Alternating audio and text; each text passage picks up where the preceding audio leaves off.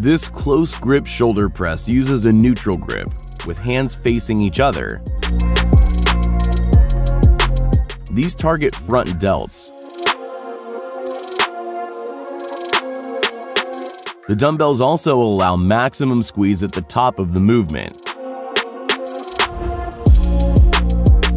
Dumbbell front raise is a popular exercise for front and middle delts.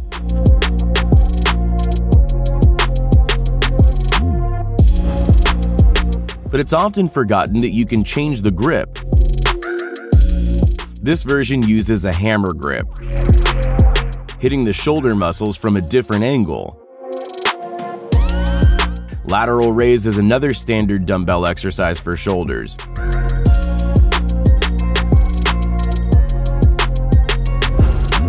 But by changing the angle of the body, you can hit different parts of the shoulder.